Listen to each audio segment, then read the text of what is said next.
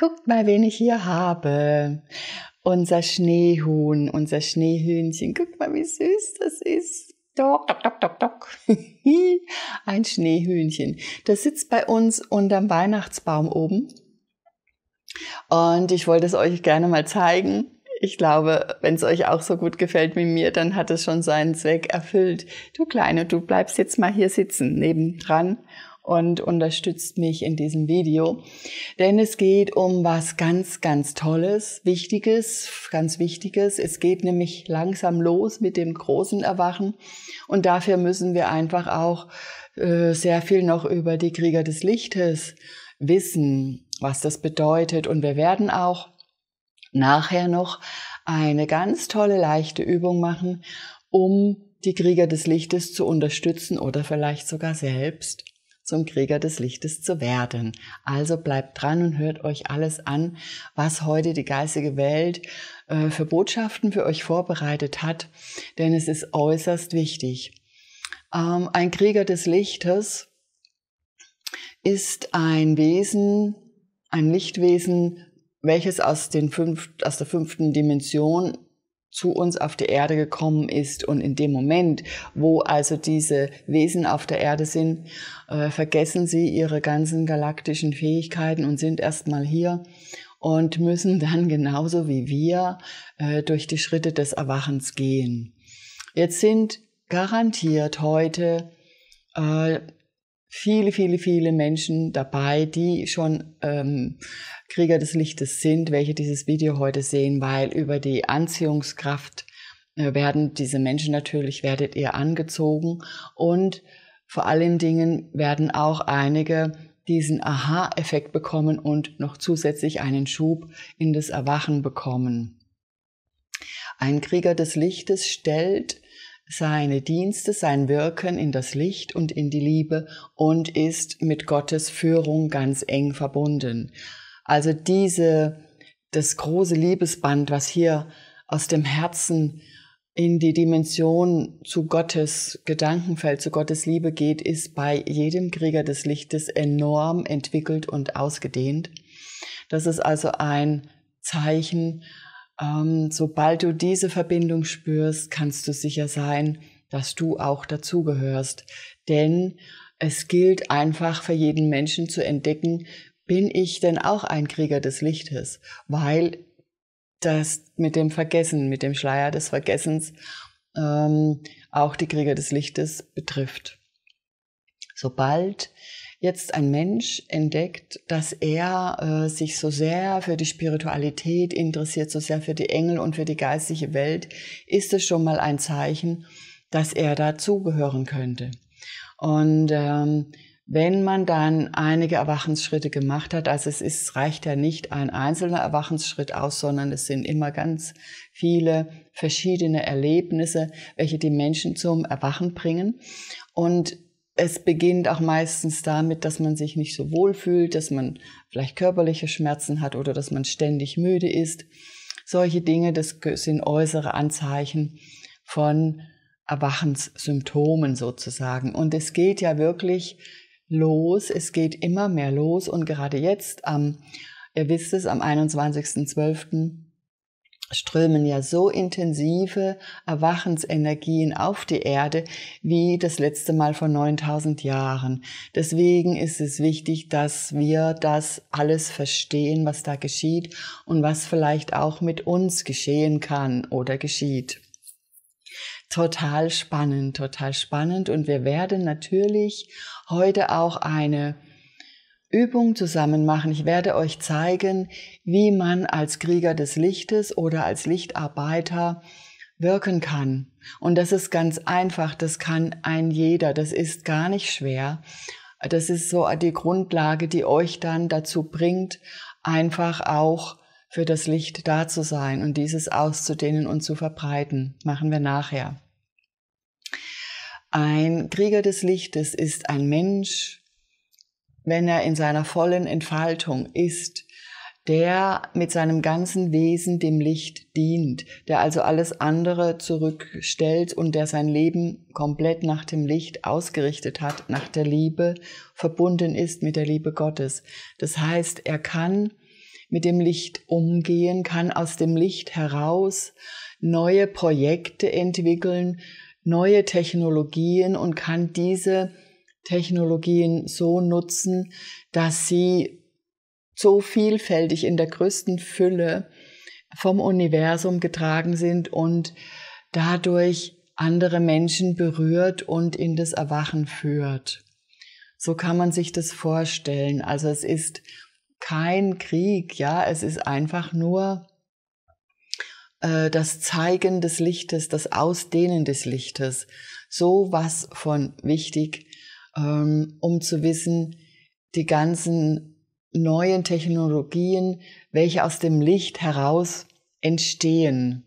Und das heißt allein, wenn ich mich jetzt zentriere, lichtvolle Gedanken habe und daraus entsteht dann zum Beispiel ein äh, spirituelles Werkzeug, so wie man arbeiten könnte spirituell, so wie man heilen kann spirituell. Das ist die neue Technologie. Und äh, das sind Eingebungen, die dann aus der fünften Dimension kommen und von diesen Lichtarbeitern und Kriegern des Lichtes verbreitet werden. Also alle Menschen, die sich da sehr, sehr, sehr engagieren, sind die Vorreiter für das große Erwachen. Und das, was wir jetzt gleich machen werden, das betrifft alle Menschen, das kann jeder tun, denn ich weiß, es gibt dann auch wieder Menschen, die, die sagen, oh Gott, ich, ich kann das gar nicht. Ich habe keinen YouTube-Kanal, ich weiß gar nicht, wie ich das machen soll. Ich habe eine normale Arbeit und wie soll ich denn jetzt oder wie kann ich denn jetzt für das Licht wirken? Ich bin fehl am Platz und äh, ist vielleicht traurig. Und da dafür gibt es diese wundervolle Übung, äh, die wirklich so easy ist und die so viel bewirkt. Und wenn wir dies alle tun, dann haben wir ein ganz, eine ganz große Möglichkeit, das Licht auf der Erde zu verbreiten und immer mehr Menschen werden dieses Licht fühlen und immer mehr Lichtarbeiter oder Krieger des Lichtes werden erwachen. Darum geht es. Je mehr wir sind, umso besser und schneller und leichter kann das Neue kommen. Und jetzt mache ich mit euch die Übung. Ihr werdet sehen, es ist wirklich so easy. Und das kannst du überall, wo du gerade bist, tun. Du brauchst nicht zu meditieren, du brauchst nicht in einem bestimmten Raum zu sein. Du kannst es im Auto machen, auf der Straße, bei der Arbeit, zu Hause, wenn du spazieren gehst. Du kannst es wirklich über, überall machen. So, also dann machen wir es mal zusammen. Ähm, zentriere dich, gehe in dich, das heißt, konzentriere dich einfach auf deine Mitte und dann denke Licht. Denke das Wort Licht, Licht und lächle. In dem Moment, wo du Licht denkst, ist das Licht da und durch dein Lächeln gibst du ihm die Kraft zu strahlen. Und diese drei Dinge, zentrieren, Licht denken und lächeln, das ist dein Werkzeug. Das ist alles. Mehr musst du gar nicht tun. Und stell dir vor, jeder Mensch, der dich ab sofort anlächelt, könnte diese Schritte getan haben. Und wenn du zurücklächelst und das auch tust, und dann verdoppelt sich dieses Licht. Und wenn dann du den nächsten anschaust und der andere den nächsten anschaut, oh Gott, mir krabbelt's gerade am ganzen Körper. Überlegt mal, so, wisst ihr, diese Schauer, wenn die Engel im Lichtkörper dich, wenn du so eine Gänsehaut bekommst oder dich so kalt und heiß wird, das ist ja ein Zeichen von den Engeln, die sagen, ja, ja, ja, genau, das ist richtig, das ist ganz wichtig. So geht mir es gerade. Ich wiederhole es nochmal. Stellt euch vor, du hast es gerade gemacht, lächelst und der andere Mensch lächelt zurück und macht es dann auch. Dann hat sich's schon verdoppelt, multipliziert. Und dann schaust du jemand anders an und der andere schaut jemand anders an. Und so wird das immer, immer mehr. Und so verteilt sich das Licht, die Freude des Lichtes, die Kraft des Lichtes auf der Erde. Das ist wirklich so einfach und hat so eine große Wirkung. Und ich glaube, ihr freut euch jetzt genauso wie ich darüber, dass das so schön ist und so einfach ist. Und äh, tut es überall, tut es einfach immer. Wenn euch das einfällt, tut es ganz bewusst und ihr werdet sehen, allein dadurch wird das Leben viel schöner. Ja, und jetzt möchte ich gerne noch eine Botschaft von der geistigen Welt überbringen, um die Lichtarbeiter, die Krieger des Lichtes zu stärken und um diese Liebe noch mehr zu vergrößern. Und ich bin sehr gespannt, was für eine Botschaft kommt. Und da wird mir es jetzt auch schon ganz äh, komisch. Also, was heißt komisch? So, diese Bestätigung kommt wieder von der geistigen Welt. Es ist sehr wichtig, dass wir diese Botschaft gemeinsam hören. Und ich werde mich jetzt auch erstmal gleich einsprühen mit meiner Ursprungsenergie.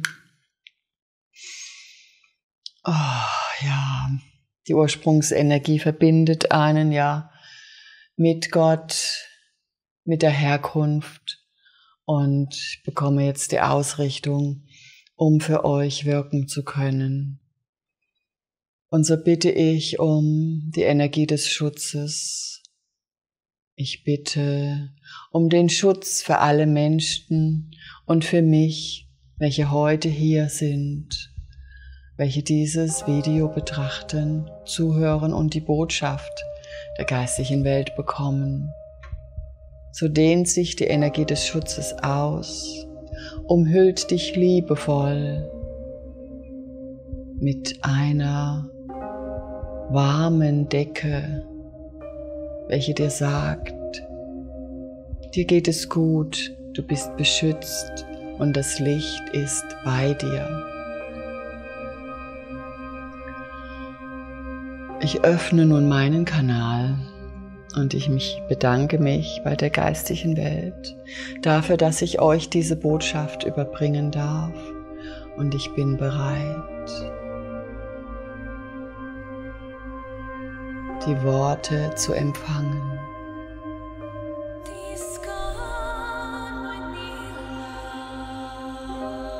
Es spricht Melik Metatron zu dir, das Auge Gottes das Licht an sich. Ich bin das Licht, ich bin die Liebe und ich trage das Wissen des Alleinen in mir. Und so begrüße ich dich mit den hohen Worten der Liebe und Smarana. Möge das Licht dich heute führen und begleiten. Ich überbringe das Licht der Liebe. Ich überbringe das Licht des Alleinen. Und ich bitte dich, wenn du bereit bist, dein Herz zu öffnen und diese große Liebe Gottes zu empfangen. Und so strömt ein großer Strahl der göttlichen Liebe und Schöpferkraft jetzt zu dir Öffne dein Herz und öffne deine Seele, damit dich diese Energien berühren können und dir zeigen, wie einzigartig und wie großartig du bist. Die Energie der Liebe fließt durch jede einzelne Zelle deines Körpers. Sie fließt durch all die Speicher der Erinnerung und wenn du dazugehörst, wirst du es in deinem Herzen spüren. Die Liebe wird dich berühren und öffnen. Sie wird deine Erinnerungen aus der fünften Dimension jetzt für dich fühlbar machen. Und so überbringen wir die geistige Welt dir die Energien der Erinnerung. Lasse dich tragen von den Tönen der Wirklichkeit und nehme all das auf, was dir jetzt gezeigt wird.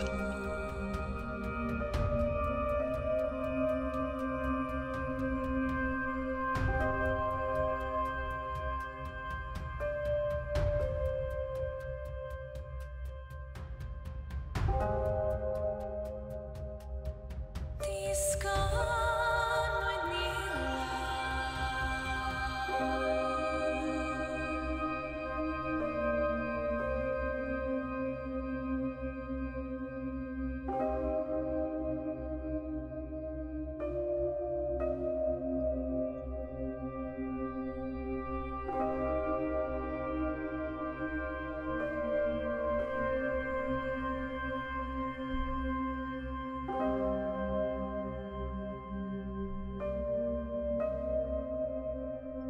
Das Licht legt sich wie ein Mantel um deine Schultern. Es leuchtet und strahlt die Kraft der Liebe aus. Dieses Licht ist dein Werkzeug. Mit diesem Licht bist du mit Gottes Liebe verbunden. Und du wirkst zum allerhöchsten Wohle von allem, was ist. Die Engel sind bei dir, unterstützen dich und helfen dir in deinem Dienst für das Licht zu dienen. Ich habe gesprochen im Auftrag aller Engel im Universum. Ich habe gesprochen im Auftrag von Gottes Liebe, der vollkommenen Schöpferkraft, der vollkommenen göttlichen Liebe, welche immer ist.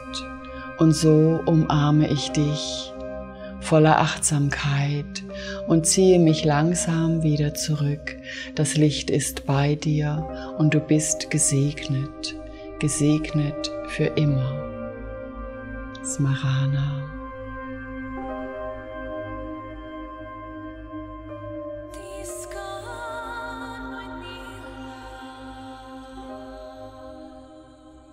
Ich fühle mich so erhoben, ich fühle mich so ausgedehnt und ich fühle mich so nahe.